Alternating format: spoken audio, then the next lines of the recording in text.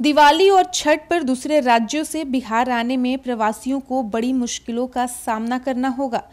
हवाई जहाज़ का किराया आसमान छू रहा है तो ट्रेनों में बर्थ खाली नहीं है। यहाँ तक कि बसों में भी जगह नहीं मिल रही है। हज़ारों रुपए खर्च करने के बाद भी टैक्सी तक उपलब्ध नहीं हो रही।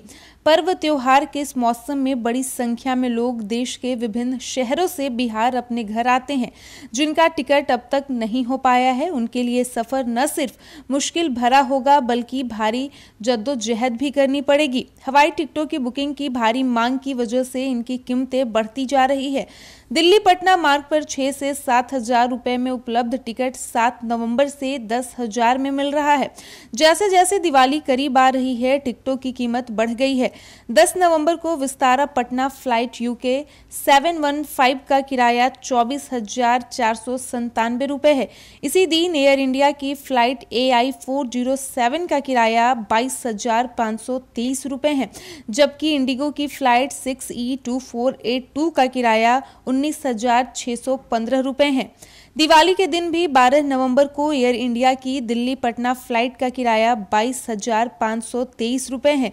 दिवाली से छठ के बीच इसके मुकाबले टिकटों की कीमत कुछ कम हुई है, फिर भी सामान्य दिनों से इनका किराया दो से तीन गुना है। इस बीच भी किराया बारह से अठारह हज़ार के बीच है। जैसे जैसे त्योहार नज़दीक आ रहे हैं, किराए में बढ़ोतरी होती जा रही है। बता दें कि मुंबई पटना मार्ग पर हवाई किराए में बढ़ोतरी 8 नवंबर से दिख रही है। 7 नवंबर को इस मार्ग पर पचासी सौ रुपए में टिकट उपलब्ध है, लेकिन 8 नवंबर से किराया लगभग दो गुना हो गया है। 8 नवंबर को स्पाइस जेट की एस जी का किराया तेरह हज़ार आठ सौ नब्बे है। इसी दिन इंडिगो की flight six E five one seven three का किराया चौदह हज़ार एक सौ बहत्तर रुपए है। 8 नवंबर को ही फ़्लाइट संख्या 6 E two zero four three का किराया सोलह हज़ार बासठ रुपए पर पहुँच गया है। इस दिन एयर इंडिया की flight A I six seven three का किराया उनतीस हज़ार नौ सौ रुपए तक पहुँच गया है। 10 नवंबर की स्पाइस जेट की फ़्लाइट का किराया सत्रह हज़ार एक सौ चौवालीस रुपए है। Six E two four one four seven और एयर इंडिया की फ़्लाइट का किराया उनतीस हज़ार नौ सौ पंचानवे रुपये है। दिवाली छठ में यात्रियों की संख्या के लिहाज से ट्रेनें कम पड़ रही है। कुछ ट्रेनों में तो वेटिंग टिकट भी बंद है।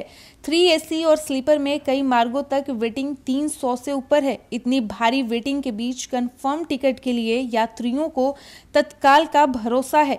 दिल्ली पटना मार्ग पर तो दिवाली से दो दिन पहले संपूर्ण क्रांति एक्सप्रेस की थ्री एसी, टू एसी और फ़र्स्ट एसी में रिग्रेट हो गया है। विक्रमशिला एक्सप्रेस में भी दस नवंबर को स्लीपर रिग्रेट हो चुका है। तेजस राजधानी में 7 नवंबर से प्रतीक्षा सूची बढ़ने लगी है।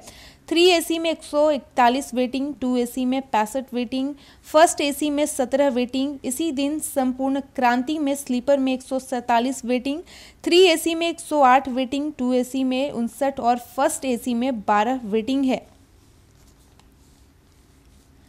ट्रेन और हवाई जहाज़ का टिकट नहीं मिलने पर बड़ी संख्या में लोग टैक्सी का सहारा लेंगे। पाँच से सात हज़ार टैक्सी इस दौरान पटना और बिहार के अन्य जिलों में यात्रियों को लेकर आएगी। पटना टैक्सी यूनियन संघ के शिवशंकर शर्मा ने बताया कि ओला और उबर की हज़ार से बारह सौ टैक्सियाँ केवल दिल्ली सहित अन्य शहरों से पटना पहुँचती है। दिल्ली से पटना तक आने में लोगों का औसत खर्च तीस से पैंतीस हज़ार रुपए के बीच पड़ता है। इसमें टैक्सी भाड़ा लगभग छब्बीस हज़ार और टोल टैक्स पाँच हज़ार रुपए चुकाना पड़ता है।